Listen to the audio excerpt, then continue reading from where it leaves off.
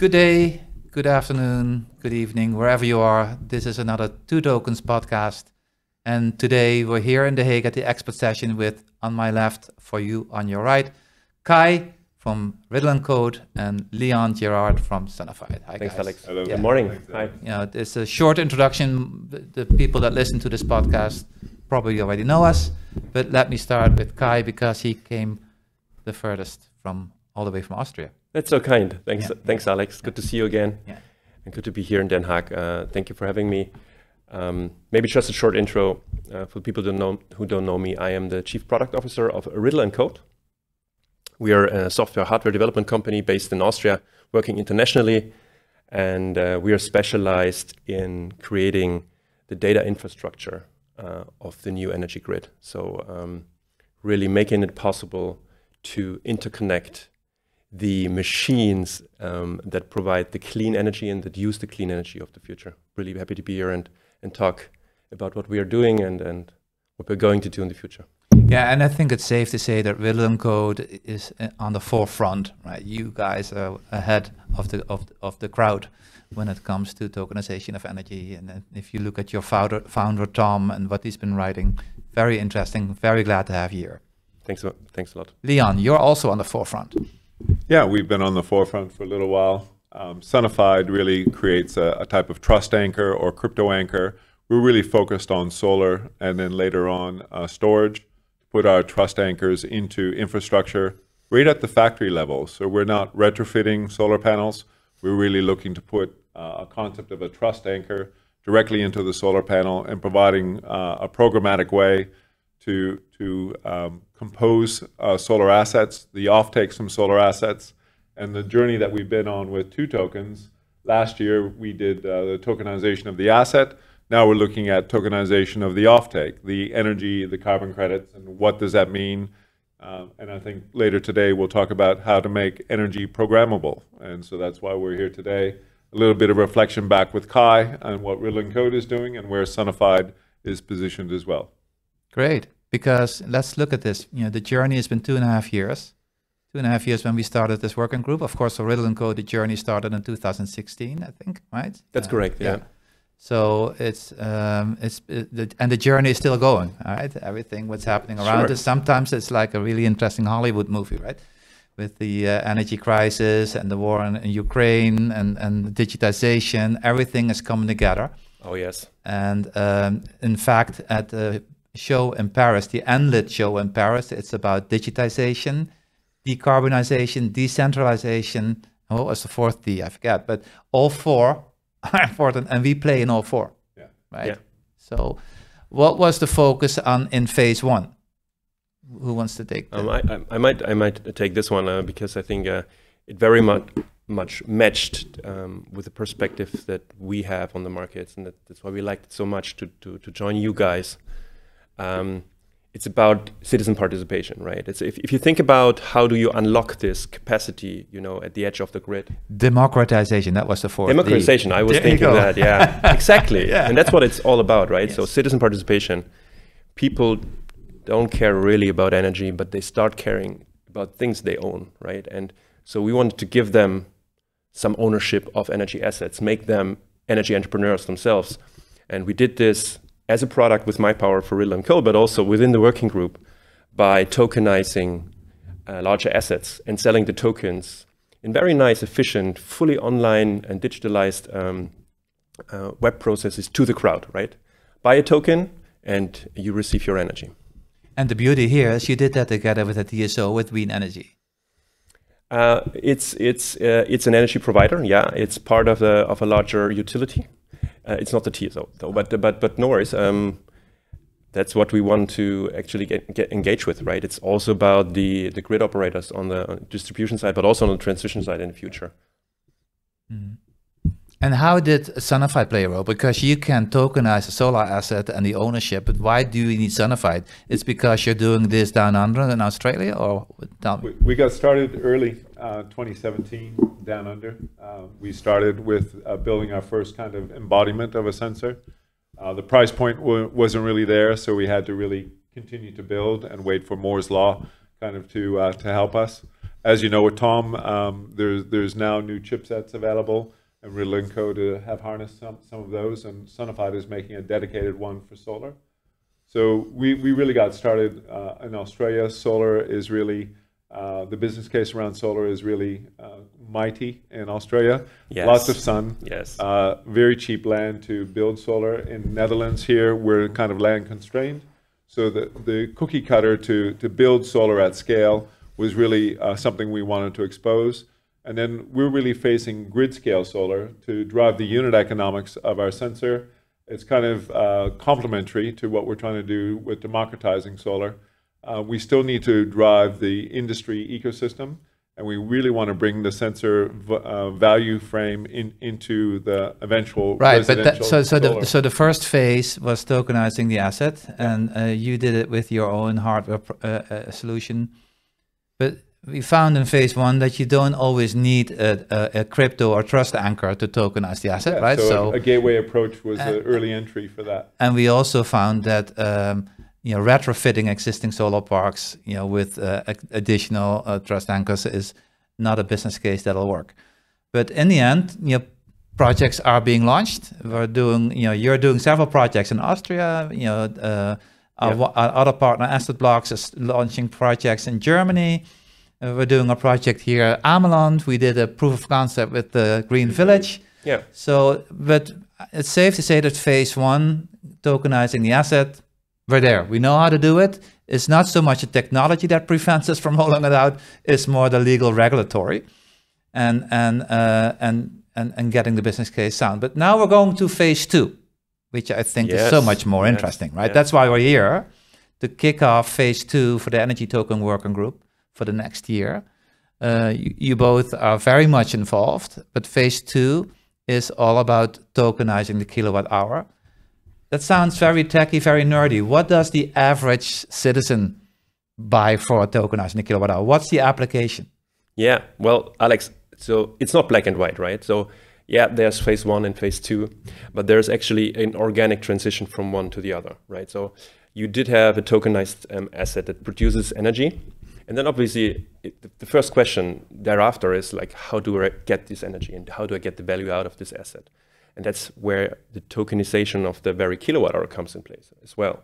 And um, it's um, this is this is obviously a little bit of a more complex journey, but it's it's uh, it's very interesting. And um, whereas the first phase was quite quick because you had like this one to n um, um, relation between one asset to many many customers, now you actually you want to um, get into every house if you want, right? So re- um, it's it's about when do you consume your kilowatt hour? And I'm, I'm a big, big friend of not building extremely virtual kind of solutions where there's actually no connection anymore between the production and consumption of the kilowatt hour. But we want actually, you know, to, to also support sustainable consumption of, of energy. So we want to add now the, um, the smart meters on the demand side to this whole game, right?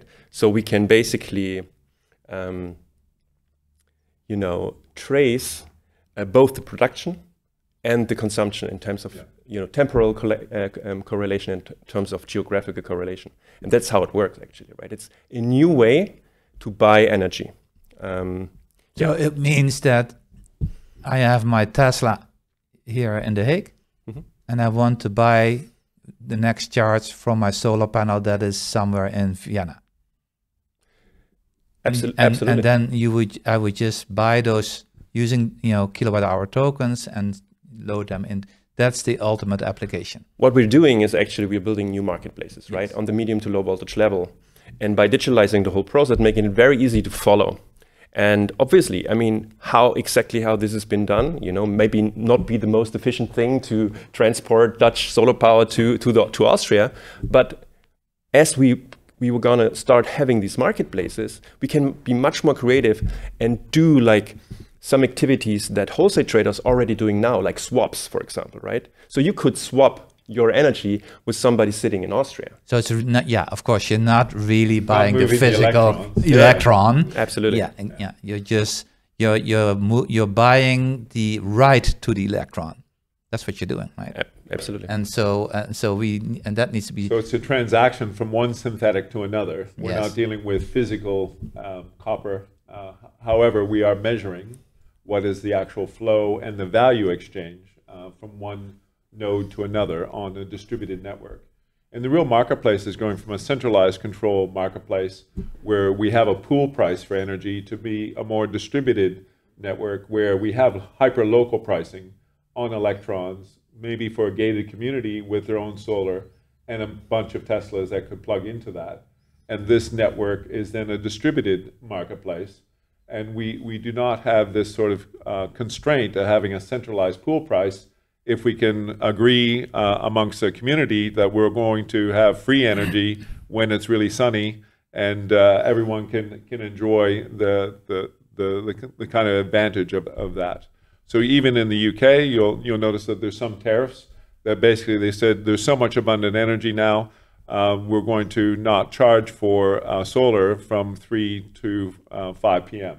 on certain days. So there's certain tariffs now where it's gone to zero uh, uh, and incentivizing that, that local consumption or conspicuous consumption, right? To say, okay, we're going to try motivate the change of behavior for these distributed sources.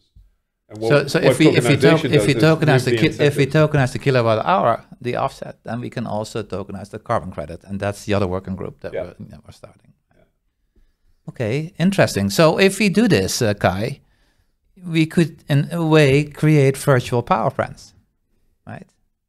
Well, at the end of the day, um, energy communities have always been, for us, at least, a subsection of virtual power plants. It's, it's, um, you know, looking at the energy markets from first principles. You know, that's where we come from as energy market experts. We we un- we understand that to, um, you know, to really make rapid decarbonization of our economy happen, we need to have the, you know, smart edge devices participating. Smart edge devices, what does it mean? Smart means um, those are devices who are app enabled, right?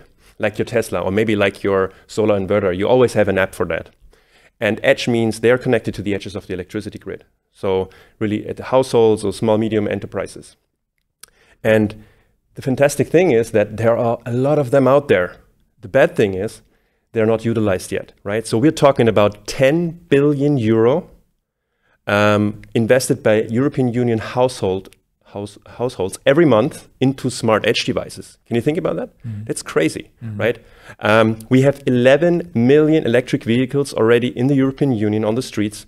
6.5 home charging stations in 2023 already today 20 million heat pumps and more than 120 um, HVAC systems or air conditions and stuff like this this sums up to more than 150 gigawatt of flexibility capacity that is not being utilized at the moment. And why? Because it's not interoperable, right? So what, what does it mean not being interoperable? It means they cannot be connected. Um, software systems like energy, uh, like uh, like um, decentralized um, energy resource management systems, they cannot access uh, these assets for them to bring like valuable services to the society, right, and to the markets. So that's that's what we need to change. And to change that, you need obviously to check certain boxes, right, to be interoperable. And the first thing is the buy-in of the asset owner, because if you don't have the guy who owns the asset, obviously nothing is happening. And energy communities are the first step to get this buy-in to asset owners, because now it, we have also a regulatory framework to make it easy for them to to uh, to, to transact directly. That's why it's this so but, important. you know, under pressure, everything becomes possible. But you know, the regulatory frameworks are changing, a- and especially if you look at European energy laws. Yeah.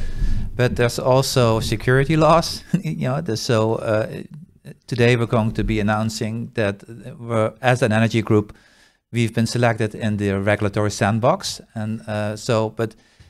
It's not just the energy law, right?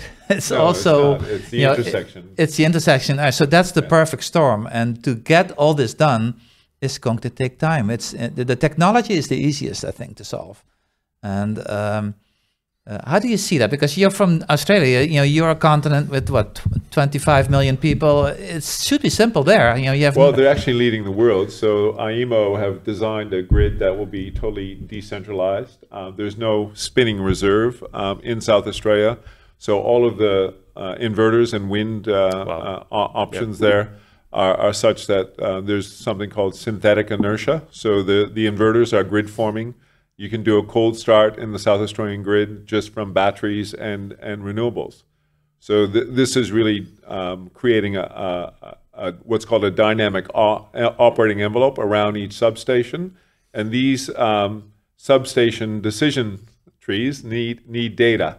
And so we're really looking at, at ways to create new data sets, new datagrams that allow these edge devices to communicate. Um, we think that the protocols need to be designed so they they allow some alignment, uh, but they need to be loosely coupled. Yeah. So you can't create a tightly coupled system. It needs to be flexible. We need to bring incentives and other industry players to come in and bring their storage, uh, the energy orchestration of these assets as well and at different voltages. So mid voltage also, you know, there, there's a role to play for the um, the the new high voltage or uh, high voltage DC uh, cables that are going to be pulled. So the the the real answer is everything all at once. You know, it's a multiverse of, of technology ecosystems are evolving. And Australia is really leading the way in, in doing that. We're taking the learning curve from Australia and trying to deploy this thinking in, in piecewise ways into different European frameworks. And Europe leads the world in the adoption cycle of this because of the imperative of, of uh, coming off gas due to Putin. But uh, if, if you look at the mar- market momentum, as Kai was saying, it, we still have this huge opportunity to, to align the resources and the signaling, uh, the grid services, even for the flex market, would, would be uh, some something that we oh, just absolutely. really need to, flex, to really focus on. That's interesting. Uh, Europe, you, you, know, this is a guy who's Canadian, Australian. He's you know stuck in Amsterdam now. We love you for it, but you're telling us that Europe is leading the way. And yeah, the, you know, how? You know, because we have all these different countries, all these different jurisdictions, all these different power grids. Seems to me that should make it more difficult. Yeah, but the uh, the policies are actually uniform. The the uh, the European Union has done its job to create this uniform approach, even though um, there's pushback at the at the edges, and not every jurisdiction has the same level of adoption. Let's say of Germany, um, you know, Portugal and Spain finally will enable these types of local communities as well. So, do you so, see? You know, you're in Austria. So, what do you think are the forerunners in terms of adoptions in Europe? Mm-hmm the smaller countries, bigger countries? You know, can you shed some light? Well, like looking at the map, we have 13 member states that um, put in place um, on the national level um, laws that, that were coming from the uh, European Union um, Renewable Energy Directive 2, um, basically formulating the umbrella for the, the so-called energy citizens, right? Of which the energy communities are just one part. They're also active consumers and prosumers. And um, they're, they're rather smaller countries um, having this put in place. I think another seven, seven, of, seven of them are in draft status. Germany has, is, is, is, nowhere there, so really? they don't have even a draft really? wow. uh, coming from energy communities. Um, but Austria does have, I think, um, Scandinavian, uh, Scandinavian countries. I think the Netherlands are also doing a lot of things now. Mm-hmm. Italy Italy, just, yeah, just released. Uh, well, we were just there in Rome. It was so, amazing. Yeah, yeah. yeah, that was amazing. Yeah, yeah. Uh, Spain, of course, as well. There's a large revival of this uh, after some years of uh, yeah, where, where, they were a little bit going into sleep. Um, yeah, a little bit the wrong direction. Yeah, yeah. Yes, yeah. yes. But you know, and you just said it. You know, so Sunified with your sensors, you're going to be agnostic to whatever network. But uh, Riddle and Code, you have your own Riddle network. You know, has that been launched yet, or you, you're working oh, on that? Is there anything you can share here? Oh, I'm so excited, Alex. Yeah, I'm really excited.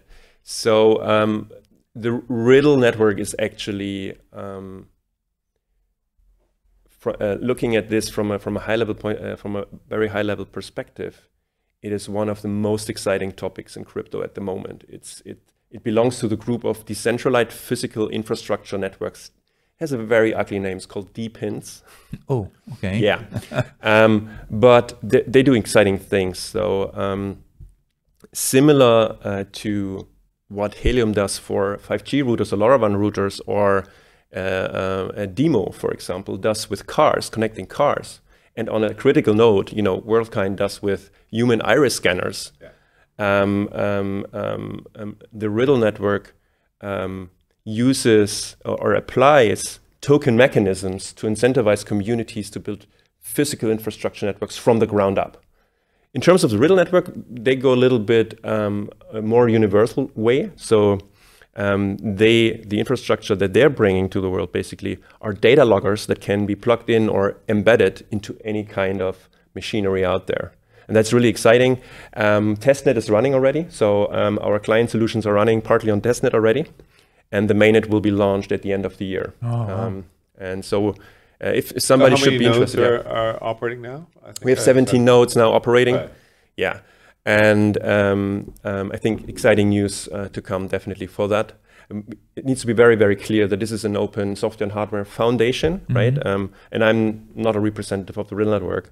Um, we just happen to build uh, on top of the Riddle network for some of our applications Mm-hmm. uh, as Riddle and Code, right? And, and, and obviously the founder of, uh, of the Riddle comes from Riddle and Code, but in the meantime, it is an own foundation. And if you if you're interested in this, check out the Discord channel uh, of the Riddle network. Who's Uh, the founder of the. Riddle Network? It's Tom Fürstner. Oh, Tom. Okay. Tom okay. Fürstner, Yeah, yeah. yeah. Oh. oh, we should have him here. Yeah, yeah. Oh, absolutely. Yeah. Absolutely. Next. Oh, next one. Yeah, absolutely. Need more than half an hour though.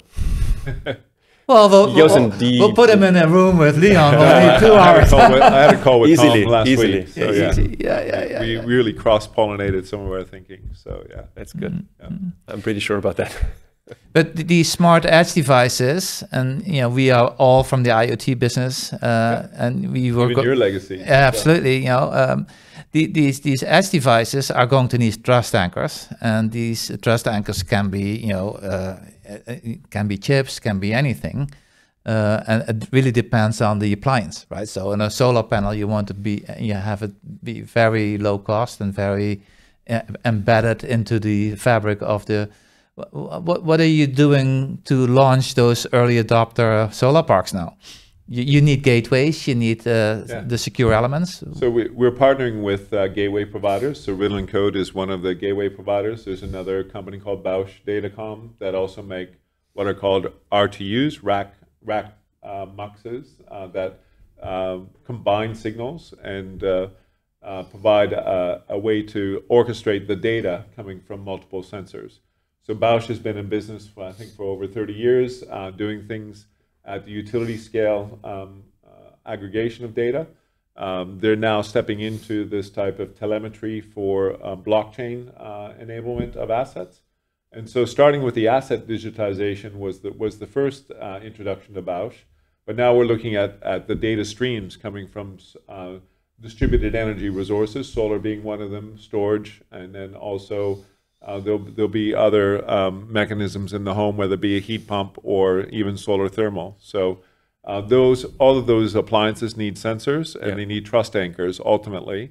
And the, the data uh, uh, combination, the, the, the concentration of data really needs this type of trust and orchestration.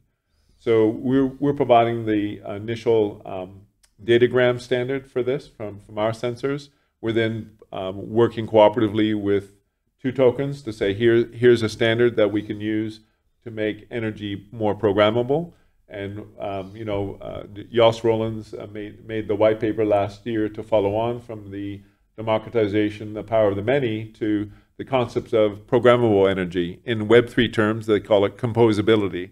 How can you compose a smart contract and have a solar panel as one of the ingredients, the offtake from that solar panel being uh, some of the token protocols that you can program against?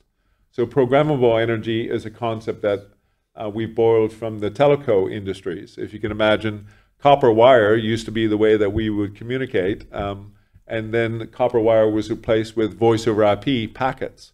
And those VoIP packets, those voice packets, were programmable. And then we created software defined energy networking, and we replaced all those copper wires with fiber. And so the, the same thing is going to happen with energy assets. We'll have packetized energy. Those packets of energy will be programmable. Uh, different features will be exp- expressed in APIs.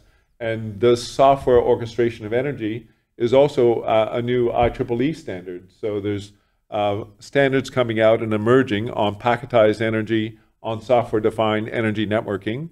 And we're looking to be an actor in those kinds of discussions, not just working group here in Netherlands with two tokens, but what is the actual infrastructure players going to do to, to make this uh, deployable across the world. Yeah, it should be stressed, right? So we, we work with ISO, we work with IEEE, Energy Tech, IWA. Yeah. So I think it's important that we come up with standards, but more importantly is that those standards are being used, right?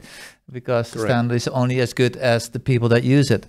Um, Talk, speaking of which, you're going to be presenting today the projects that are being rolled out in in Austria. You know, we're going to hear yes. from other projects. Uh, what do you see as uh, the low-hanging fruit? Well, there's no real low-hanging fruit in terms of you know, democratizing energy. You know, is that uh, energy communities consisting out of citizens? Are these uh, um, maybe big power plants or maybe uh, corporations that want? What, what is your early view on this? Yeah, the gateway drug. You yeah, want, you want to you want to talk about the gateway drug? Well.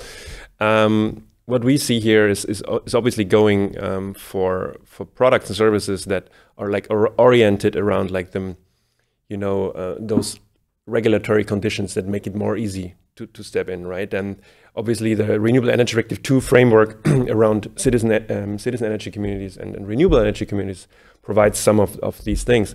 And what we found out in, in Austria that um, we have um, two um, basically approaches set into law already. So this renewable energy community, which is basically um, must only consist of renewable energy sources and is um, basically structured locally. So it uh, can only uh, only people who are basically registered um, or connected under grid level, a certain grid level five, um, are allowed to build one a renewable energy community, which makes it, you know, it's it's it's very hard to scale in terms of a product and a digital product. So I think the sweet spot really is those citizen energy communities, which are by definition um, they can be much much larger. So they can basically span across one nation, and and I think uh, EU legislation even allows for cross-border uh, citizen energy communities so and energy communities across border. Oh, okay. As well, as That's, well, as yeah. well. Um, but tokens don't have borders, so yeah, it only makes sense. Right. So the tokens should mirror also the physical system at, at yeah. some at some point, and and obviously there are obviously entry exit rules, there are cross border points, and and the grid at the end of the day, in terms of copper, is is anyway uh, connected in the European Union. So that's that's where we are, and we see that this this framework of citizen energy communities, which is more loose also in terms of um, you know, which entities are allowed to partake, right? So also, um, you know, commercial players can be part of, of, of, those citizen energy communities, which I think we will see much, much more developments in this segment uh, uh in Austria. We also uh, working heavily on, on a solution here together with our clients. Mm-hmm. What are you seeing in terms of adoption? Who are you targeting? Different yeah. audience, I'm so, sure. So our learning curve really still uh, stems from Australia. We're building a network of uh, participants in solar parks. Uh, so we, we've got partnerships that want to build five megawatt solar parks. We see that just under five megawatts, these parks are easily put together. Um, there's a real need and imperative, uh, and these five megawatt parks can find capital at a reasonable price. So a five megawatt park is about 9,000 solar panels. This hit meets the uh, the needs for us to hit a minimum viable, uh, let's call it unit volume for sensors and we've been able to uh, to really drive this kind of initiative by bringing this thinking not just to Australia, but we have customers that want sensors in Africa, customers that want sensors in the UK, customers that want this kind of topology uh, at, a, at about a megawatt scale or bigger to, to about five megawatts. So this allows us to get a, a an order book of sensors to then drive the unit economics and do a, our first kind of production run. So we've really been looking at the, the bigger size scale so we can we can drive the unit volume and eventually then play into re the residential and commercial industrial side. Well, it's a classic push-pull. Yeah, we, we have to create a push-pull but if you, If you, you, were referring to the telecom industry 30 years ago, um, when did that really take off? It took off when modems started to become cheaper, when access became cheaper. Oh, right? Also financial contracts. You know, I think it was also about the business model and and exactly people offering uh, new ways to buy these things and, uh, and and so the VoIP industry really didn't kick off until you could buy futures yes. in VoIP infrastructure capacity. And once the financiers were able to say, okay, we can see a future capability, uh, you know, in the blockchain way, this would be um, forward financing hash rates or forward financing infrastructure this way. Absolutely. So, so this is the way we see how infrastructure has been financed, whether it be spectrum.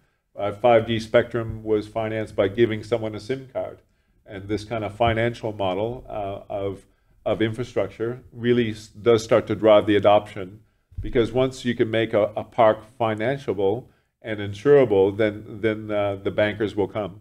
Um, once they see that the, the risk has kind of been unbundled and, and quarantined, the, this is the kind of infrastructure model that we're trying to bring. Um, the people that are real stakeholders in the data coming from the solar park is really the insurance companies as well. But, okay, okay, okay. But wait, wait, wait, wait. So in, the meantime, you know, uh, when was it? Uh, and, and, and this 20 years ago, the the old vice president of the United States made this this this presentation, an unpleasant truth, I think it was called that. Uh, inconvenient. Inconvenient truth, truth right? So now we're now 20 years into it.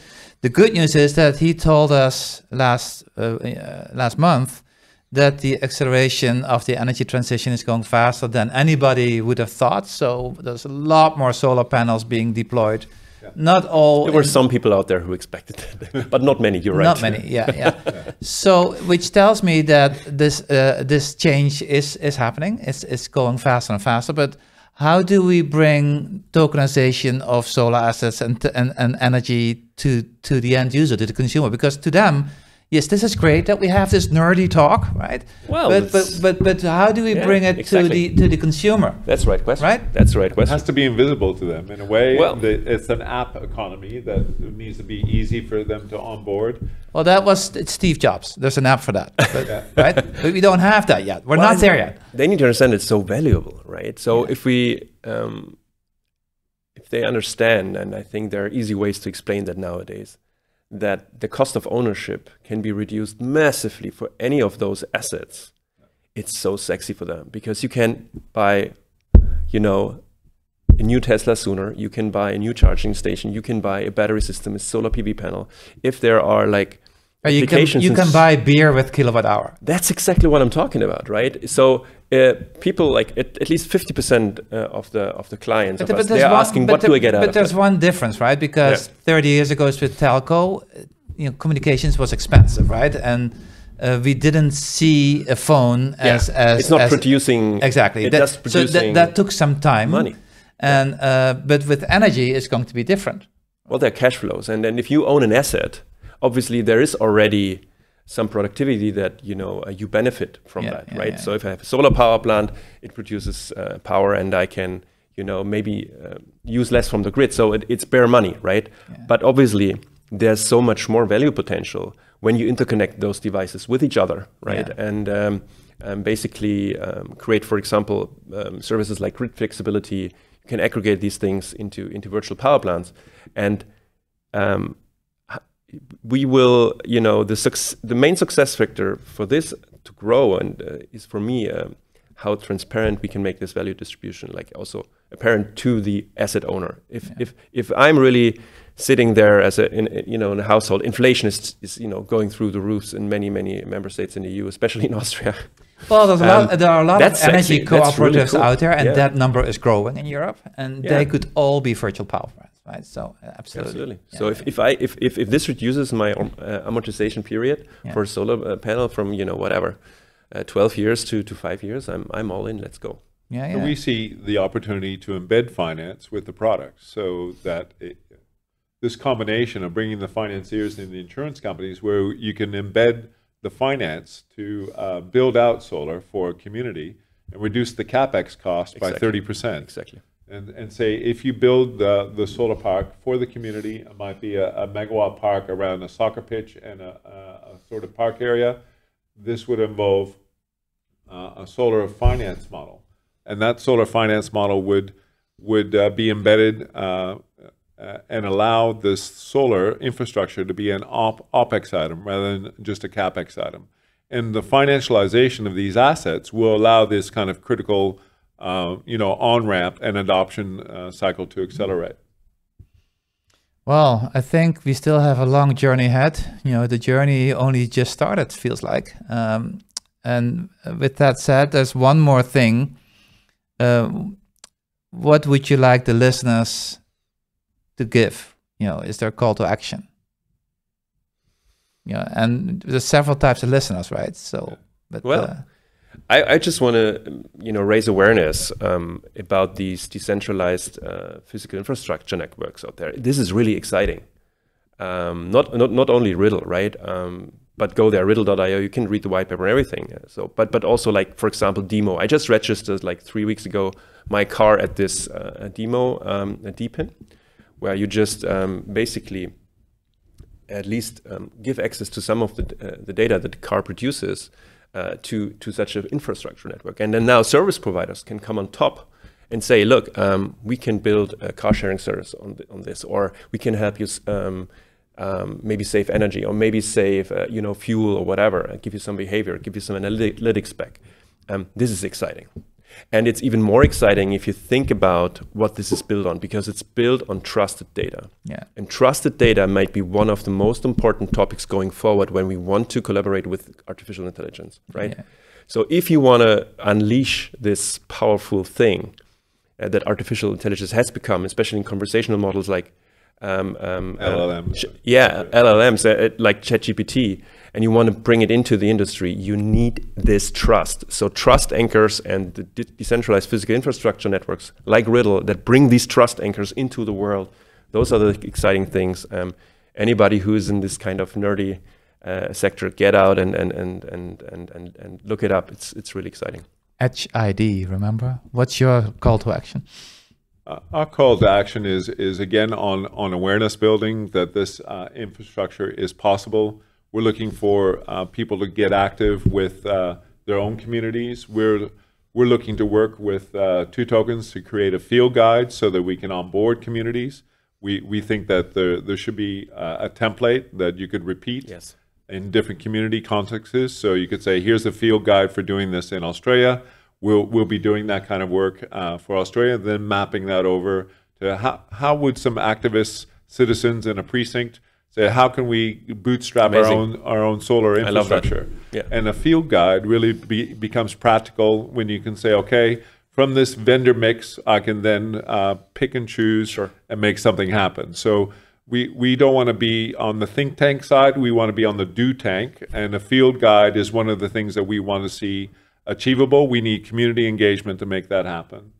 So that that's really why we're here is to engage with that whole ecosystem and uh, to to make this possible. Well, that's great. And with that, you know, I'd like to thank you both. I look forward to hearing your keynotes later. And so basically what I hear you both say is join us and come forward, step forward with your projects and let's just do it. Yes. Yeah. Huh? And come see us in uh, Paris, end of November. You can find us online. And if you want to join this working group, you're a co-captain, you're a co-captain, you know, uh, let's do it. Thank you. Fantastic. Right. Thank Thanks, you. Alex. Good. Ciao. That was it for today's podcast. Thank you for listening in and please subscribe so you don't miss out on our upcoming episodes. If you want to get in touch with us, you can find our contact details at www.twotokens.org.